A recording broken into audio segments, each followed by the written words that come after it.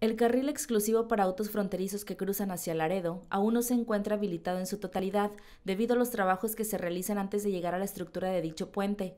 En días anteriores se anunció que para dar agilidad al cruce hacia Laredo, Texas, los fronterizos que no tengan nada que declarar lo harían por el carril desde este miércoles por la noche. Los conos que delimitan dicho carril se encuentran en la estructura del puente 2 y falta que lo hagan antes de llegar a él. Los ciudadanos de esta ciudad están circulando por la avenida de Gollado, dan vuelta en Bravo y en la curva antes de llegar a la 20 de noviembre se incorporan a los carriles. También por esta vía circulan todavía vehículos de otras partes del país, principalmente de Nuevo León. Personal de tránsito y vialidad comentaron que los conos para habilitar completamente el carril quedarían mañana. Sin embargo, una pequeña zanja, debido a los trabajos en este recinto, complican el acceso.